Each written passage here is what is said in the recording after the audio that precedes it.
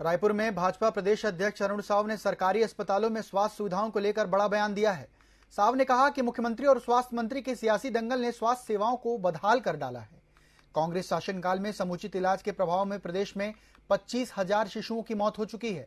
आखिर राज्य सरकार इलाज के अभाव में हो रही मौतों की ज़िम्मेदारी से कब तक पलड़ा झाड़ेगी?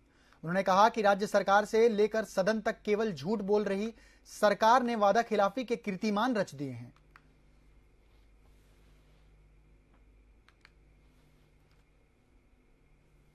कांग्रेस पार्टी का इतिहास हमेशा से झूठे वादे और झूठे घोषणा का रहा है।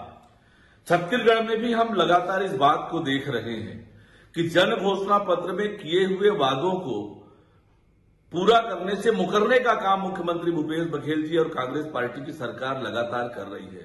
एक तरफ़ जहाँ जन घोषणा पत्र के एक भी वादे आज पूरे नहीं हुए हैं, वहीं दूसरी ओर विधानसभा में टीएस सिंहदेव जी के किए हुए घोषणा कि हम प्रदेश के सभी सरकारी अस्पतालों को कैशलेस कर देंगे, निशुल्क कर देंगे, सारी जाँच और इलाज निशुल्क करेंगे। उस वादे से भी मुख्यमंत्री भूपेश बघेल जी ने मुकरने का काम किया है।